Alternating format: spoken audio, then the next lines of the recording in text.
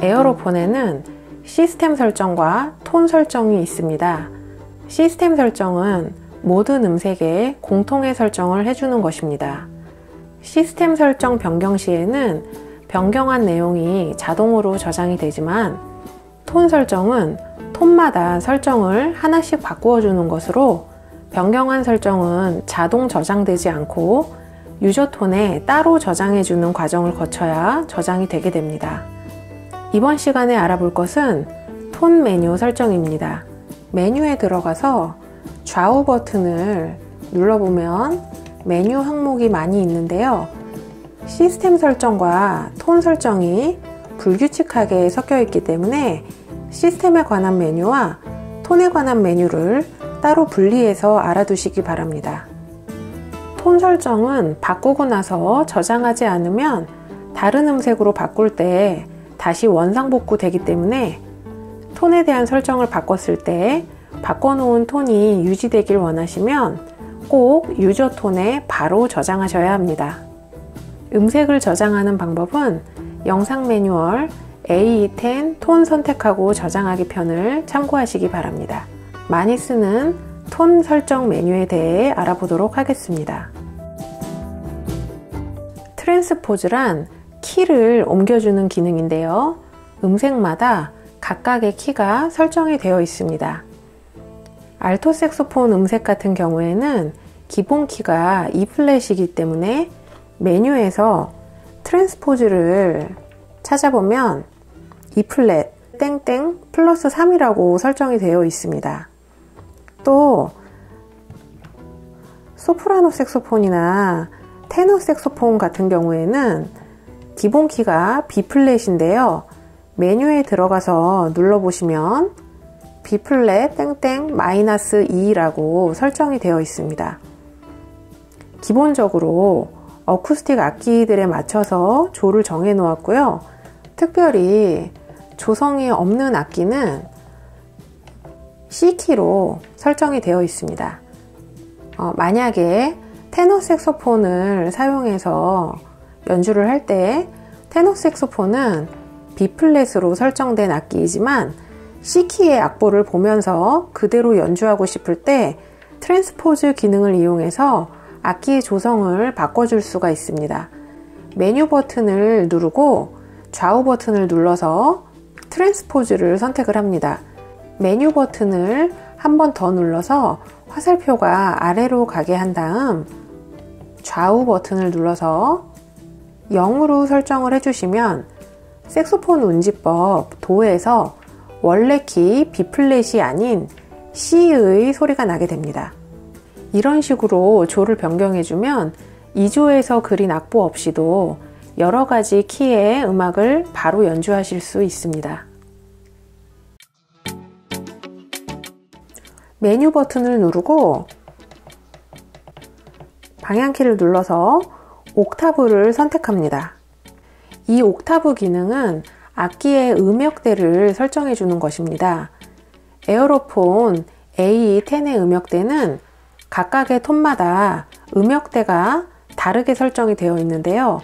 예를 들면 제가 소프라노 음색을 선택을 해놓고 메뉴 버튼을 눌러서 옥탑으로 들어가 보면 소프라노 색소폰의 음역대는 0으로 설정된 것을 확인하실 수 있습니다.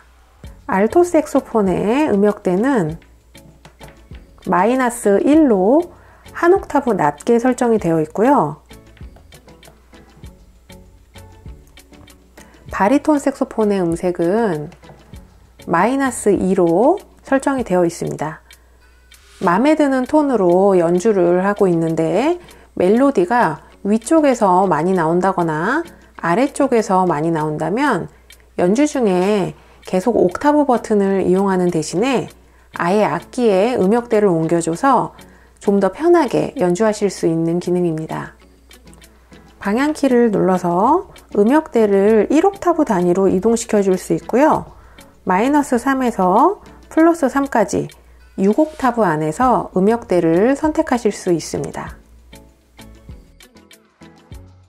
메뉴 버튼을 누르고 좌우 버튼을 눌러서 reverb를 선택합니다. 음색마다 reverb가 다르게 설정되어 있는데요. reverb라는 것은 음색의 잔향과 울림, 공간감을 주게 하는 effector이고요. 에코라고도 많이 불립니다. reverb는 0부터 10까지 설정을 해주실 수 있고요. 숫자가 높아질수록 음색의 울림이 더해지게 됩니다. reverb를 적절하게 주시면 콘서트홀에서 연주하고 있는 듯한 울림을 표현하실 수 있습니다. 악기를 불어보시면서 리버브의 수치를 조절하시면 되겠습니다. 메뉴 버튼을 누르고 좌우 버튼을 눌러서 코러스를 선택합니다. 코러스도 음색마다 각각 다르게 설정이 되어 있습니다. 코러스는 음이 나오는 순간에 아주 짧은 시간 차를 두고 미묘하게 흔들리는 소리를 추가해서 음을 더 두껍게 들리게 해주는 효과이고요. 수치가 높아질수록 음이 더 두꺼워지게 들립니다. 코러스도 0부터 10까지 설정해 주실 수 있습니다.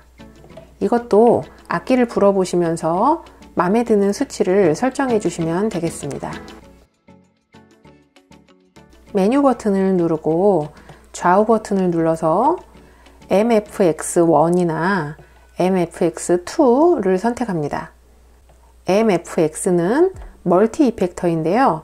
멀티 이펙터 1번에는 EQ라고만 되어 있고 어떤 이펙터인지 따로 표시가 되어 있지 않은데요.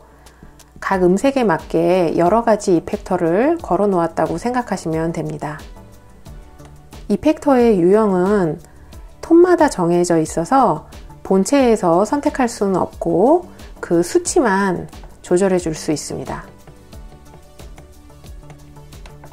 multi effector 2번에는 숫자로 몇 대 몇으로 표기가 되어 있는데요. delay를 조절해 주는 것입니다. delay는 산울림, 메아리 효과라고 생각하시면 되는데요. 음이 튕겨져 나오는 시간차를 조절할 수 있는 effector입니다. 왼쪽의 숫자가 100이 되면 delay가 0으로 돼서 튕겨져 나오는 음이 없게 되고요. 오른쪽의 숫자가 커질수록 튕겨져 나오는 음이 길어지게 됩니다. multi effector 또한 악기를 불면서 수치를 조절하셔서 마음에 드는 사운드로 만들어 보시면 되겠습니다. 메뉴 버튼을 누르고 좌우 버튼을 눌러서 bite control을 선택합니다. 이 기능은 리드를 입에 무는 힘으로 비브라토를 컨트롤할 수 있게 설정할 수 있는 기능입니다. bite control에서 화살표를 아래로 내려서 돌려보면 여기에 포함되어 있는 기능이 네 가지가 나오는데요. 첫 번째는 off입니다. bite control을 off로 설정하시면 bite 센서가 작동되지 않습니다. bite 센서를 off로 해도 natural 사운드 같은 경우에는 악기를 불 때 비브라토가 자연스럽게 적용이 됩니다. 두 번째는 SAX라는 기능인데요. 이것으로 설정을 하시면 연주 중에 리드를 무는 힘을 조금 줄여줬을 때 피치가 떨어지는 효과를 줄 수 있습니다.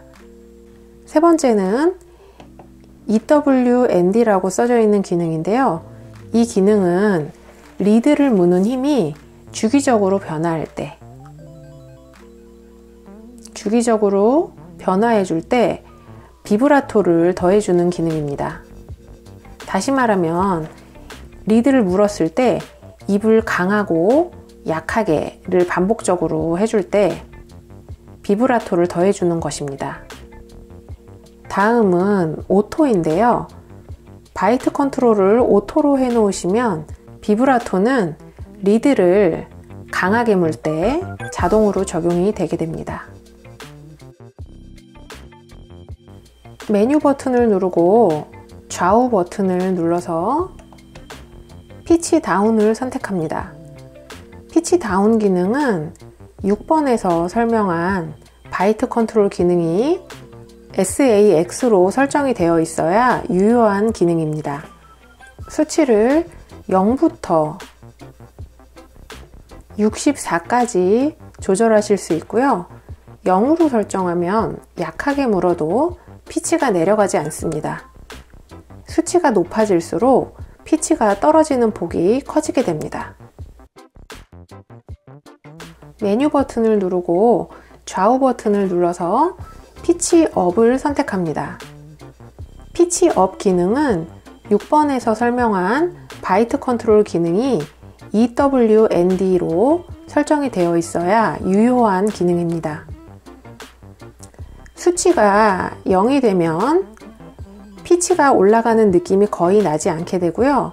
수치가 올라갈수록 피치의 차이가 커지기 때문에 최대 수치 64까지 올리면 다른 음을 찍고 내려오는 듯한 연주를 하실 수 있습니다.